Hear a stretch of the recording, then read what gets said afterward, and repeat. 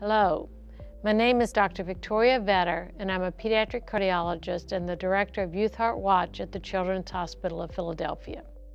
This video will demonstrate what to do if choking occurs in an adult, child, or infant. Choking is caused when something blocks a person's airway and they are unable to breathe. If someone is choking, they will not be able to talk and might give you the universal sign for choking with their hands around their neck. If you think someone is choking, ask them. Dave, are you okay? Are you choking? Can you breathe? If they are unable to respond or cough, they need your help immediately. Position yourself behind the victim and wrap your arms around them. Make a fist with one hand and place it just above the belly button. Place your other hand over the top of your fist. Then, move your hands in a forceful motion, pushing in and up towards the chest in an attempt to force the item out of the airway. Continue these abdominal thrusts until the item is removed or dislodged. The victim can breathe. Can you breathe now? Are you okay? Or they become unconscious. If the victim is large, or pregnant and you cannot wrap your arms around their waist, wrap your arms around their chest and perform five chest thrusts. For a child, you may need to kneel behind them to be at the correct height to fit your arms around their chest. If the victim loses consciousness, move them to the floor and begin CPR. The steps for helping a choking infant are different. A choking infant cannot cry or cough, and their face may turn blue quickly.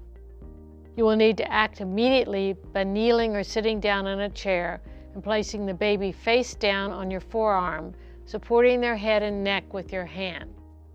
Rest your arm holding the baby on your thigh for support. Use the heel of your hand to deliver five strong blows to the center of the baby's back between the shoulder blades. If the object does not dislodge after five blows, you will need to turn the baby over to perform chest compressions. Place the baby face up on your free forearm, supporting their neck with your hand. Keeping the baby's head lower than their body, take your free index and middle fingers to perform five compressions in the center of the chest just below the nipple line to dislodge the object that is obstructing the airway.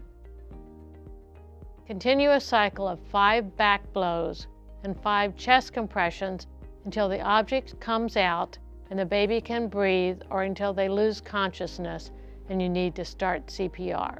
If the baby loses consciousness, move them to the floor, call 911, and begin CPR. Give 30 chest compressions and then check the airway for the object.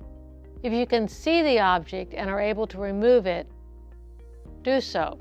If you do not see the object or if it's not easily able to be removed, do not attempt to remove it as you can push the object further into the airway. Instead, give two breaths and then start chest compressions again.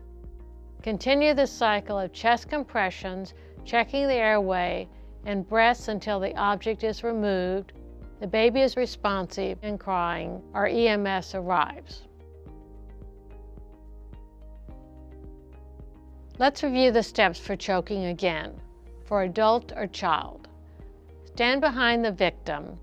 Make a fist with one hand and place it just above the belly button.